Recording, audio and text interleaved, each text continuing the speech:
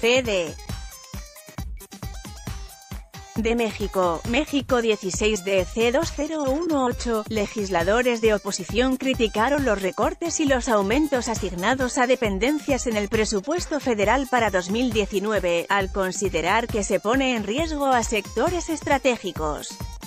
Clemente Castañeda, líder de Movimiento Ciudadano, cuestionó el gasto elevado para la Secretaría de la Defensa Nacional, Sedena.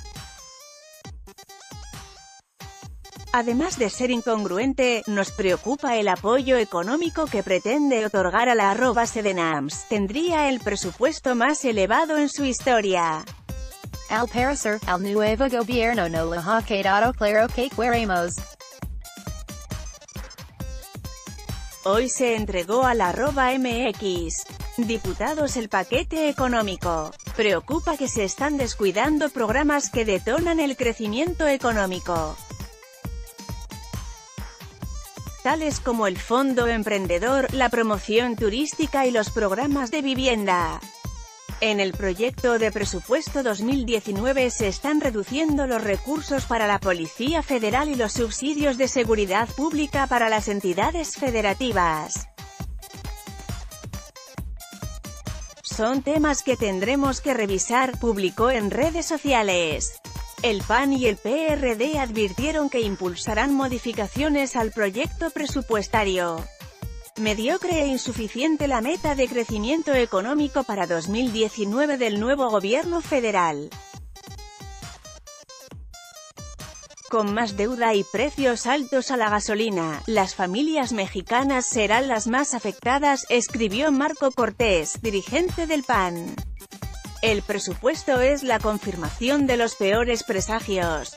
AMLVS Las universidades La cultura La división de poderes La ciencia La movilidad social Su apuesta Programas clientelares Proyectos extractivistas El petróleo La discrecionalidad El control político Jorge Álvarez Mainez arroba Álvarez Mainez 16 de diciembre de 2018 En un comunicado, Cortés destacó que la propuesta del Ejecutivo incumple con la promesa de bajar el precio de las gasolinas, ya que en la ley de ingresos no se reduce el impuesto especial sobre producción y servicios IEPS, lo que mantendrá su alto precio. Uno de los principales factores, dijo, de la inflación.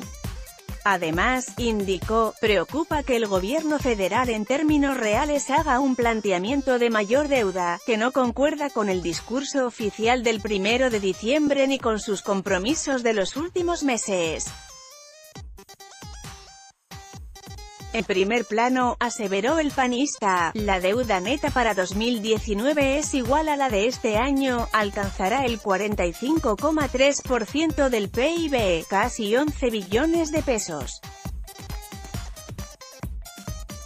La propuesta del Ejecutivo sobre el incremento real de la deuda pública queda evidenciada cuando se estima que su costo financiero para 2019 será de 749.074 millones de pesos, superior en 11,4% real respecto a 2018, abundó, es decir, alertó, por manejo de deuda los mexicanos pagarán 77.000 millones adicionales que el año anterior.